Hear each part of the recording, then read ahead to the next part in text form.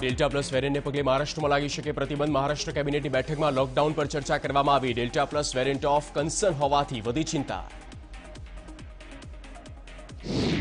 delta plus વેરિયન્ટને પગલે ત્રણ રાજ્યમાં એલર્ટ જાહેર પંજાબ મહારાષ્ટ્ર મધ્યપ્રદેશમાં એલર્ટ જાહેર કરવામાં આવ્યું મહારાષ્ટ્ર મધ્યપ્રદેશમાં અનેક વિસ્તારમાં આ કન્ટેનમેન્ટ ઘોષિત મધ્યપ્રદેશમાં સાત કેસ એકનું મોત થતા સરકાર એલર્ટ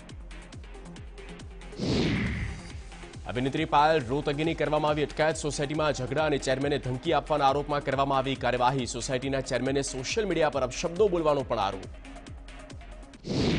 ગુજરાતમાં કોરોના ડેલ્ટા પ્લસ વેરિયન્ટનો એક પણ કેસ નહીં અત્યાર સુધીના સેમ્પલના રિપોર્ટ નેગેટિવ દૈનિક ત્રીસ સેમ્પલ રિસર્ચ માટે મોકલાયા અત્યાર સુધી એક હજારથી વધુ સેમ્પલની ચકાસણી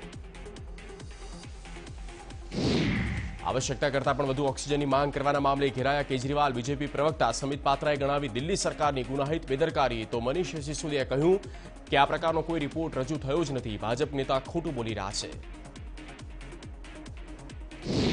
ધોરણ દસ બાદ હવે ધોરણ બાર વિજ્ઞાન પ્રવાહનું માર્ક્સ અપલોડ કરવા સૂચના અપાઈ માધ્યમિક શિક્ષણ બોર્ડે તમામ માધ્યમિક શાળાના આચાર્યને સૂચના આપી પહેલી જુલાઈ સુધીમાં વિદ્યાર્થીઓના માર્ક્સ અપલોડ કરવા માટે સૂચના અપાઈ